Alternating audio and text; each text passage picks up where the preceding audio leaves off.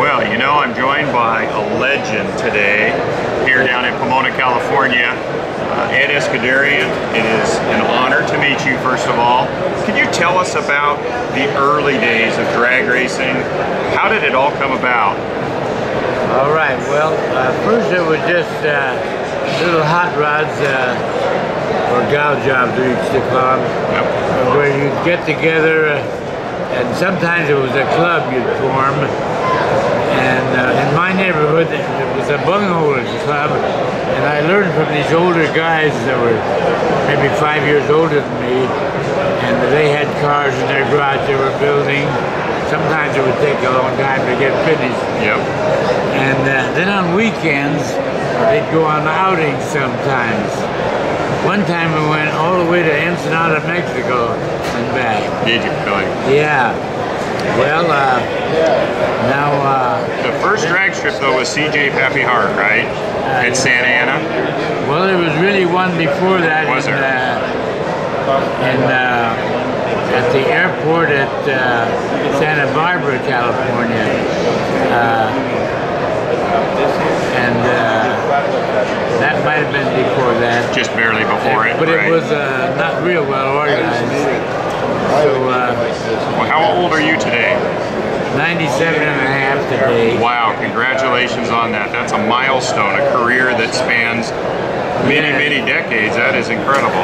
So uh, we used to have time trials up there at Muroc Dry Lake, about 100 miles from Los Angeles. Right. Now that's Edwards Air Force Base. Oh, And uh,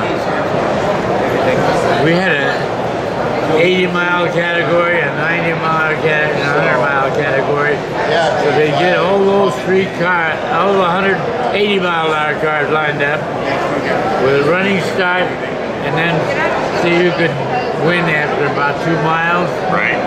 Well, the first car made dust, and the other guys couldn't see, and got to be dangerous. Some Oh. guys thought if I wait long enough going through the, even though I can't see, I might pass them. That's got to be too dangerous. So that was sort of drag racing there, but but not from a standing start. We had a rolling start. Yep. So after the war, they started that drag racing, and that's what made it grow. Okay.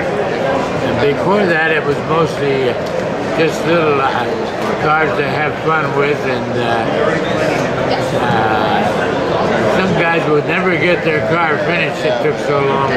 They'd be at the drive-in with the frying pan Yep. talking about it mostly. Some Right. guys uh, got a lot of work done, and some guys didn't. Right. know? So. Uh, But it's been quite a career, hasn't it?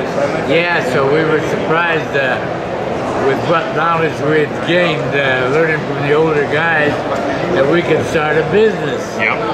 Like I bought my first cam, Ed Winfield, Okay. who was born in 1901, and he used to win a lot of races with his Model T Yep.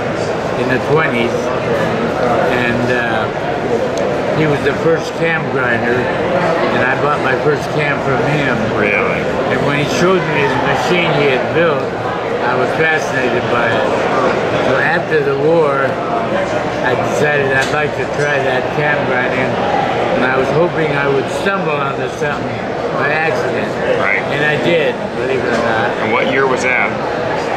1948. 1948. Wow. Uh, yeah, they had started a uh, hot rod show at the at the Los Angeles uh, Armory. The, Okay. It was a National Car meet. Yep. We hot rod show there, and that's uh, that's when we uh, Started the camshaft business. Yeah. Yeah. Right there. and, and NASCAR called. They were racing flathead Fords on the racetracks back in North Carolina. And they uh, saw my little ad in that Hot Rod Night. Right. Uh, $10 ad. And they bought two cams by airmail. And all he said was just want two cams by airmail. Right. Didn't know what, how to describe it.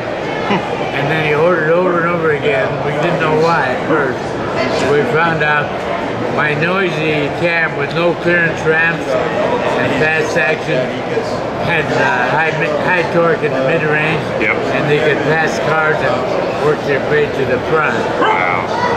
And, uh, and I didn't even know why they were fired, but because I didn't, because that was the first cam I ever made. Wow, really? Yeah, with no clearance ramps and fast action. Incredible. With a flathead, you could get away with that because it had a lightweight valve train. Oh, right. Well, these overhead valve engines, you have to be more gentle, you know, Yep. because there's a rocker arm and a push arm. So you live in Canada.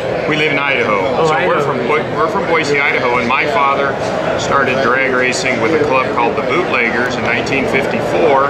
Went to the original safety safari meet in Pocatello Oh, at the yeah. air base, the, the abandoned air base there, Yeah. airport, and ran in 54 and 55. Had a chop 32 three-window coupe and put a percentage of nitromethane in the tank. Wow. Was one of the first in Idaho to run nit- nitro, and. Uh, Yeah, amazing. he, throughout all these years, eventually he ended up opening a new drag strip, and we went into the drag racing business with a track called Firebird. If you go to uh, Bit- uh, if you go to the big park, uh, what's the big park? Uh, we have to go through Idaho to get there. And, uh, Like Yellowstone. Yellowstone. Right. We have to go through. So do you remember that time? Back Yeah, to the yeah. mid 50s? Yep. I remember how we were eating some corn, and I saved the cob. I said, "There's some cattle in that yard next door. I'm gonna see if they'll eat this cow. and they did. Did they really? Yeah. Wow. Yeah, they- I had eaten all the kernels off there already. Wow. That's incredible. Well, it's been quite a life. Thank you right. for Thank sharing you a few moments with us. You bet, Ed.